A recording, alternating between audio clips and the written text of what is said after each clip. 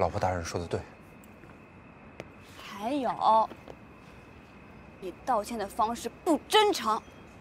你是不是觉得只有拿钱才可以收买我呀？我绝对没有这个意思。我只是想让这个道歉的方式变得有新意一点。反正是夫妻共同财产，这样最多就算是内部流动，总价值是不会变的。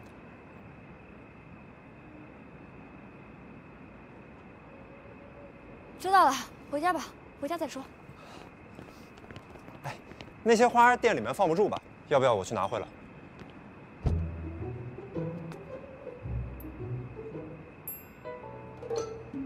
回家。我已经反省过了，在困难时期花这么多钱买花确实是不对，所以我决定这笔钱从我的生活费里面分期扣除。我们两个生活费一天是两百，一个人呢就是一百，每天扣五十，扣七十天，把这个财政窟窿给堵上。啊，扣五十，怎么扣？哎呀，从牙齿缝里面省呗。我不吃晚饭了。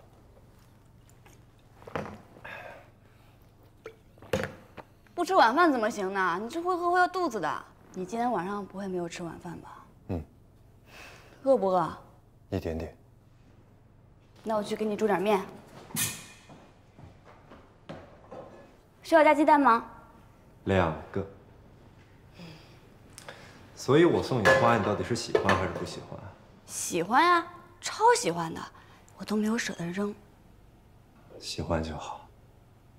你本来是打算要扔的吗？没有啊。我就是今天有点不太开心，但是我确实没扔啊。那花现在在哪儿呢？卖了。卖了。你送我花不就是为了让我开心吗？那我开心就是那么一瞬间的事儿，目的达到了呀。然后呢，我总不能等它枯萎，看着多难受呀。所以呀，我还不如把它卖了，造福全人类。那你也用不着卖啊，你可以送人呢。那可不行。怎么能送人呢？就算收废品还要收钱呢，那可是你对我浓浓的爱，可不能送人。而且你是没有看到店长他们多喜欢，跟赚了大便宜一样。再说了，卖着花儿还可以弥补你说的那个什么财政窟窿，刚好你也不用饿肚子了呀。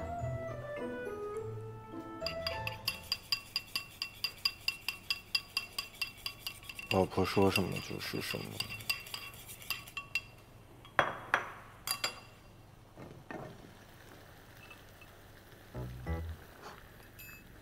你帮我看着火。你干嘛呀？我处理一下资金流动。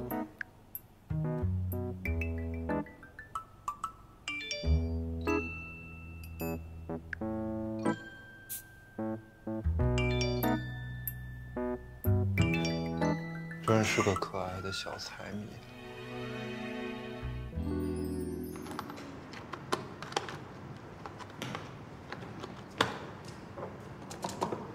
悠悠，最近又没什么客人，你来那么早干嘛？我就随便收拾收拾。嗯，不过我有预感，今天一定能开张。真的假的？我也不知道，不过我们可以再等等。哎，你好，我想做个指甲。悠悠，你神了！哎，悠悠。新来的这两个小姑娘没什么经验，你啊多费费心，带带她们，放心吧，交给我了。嗯。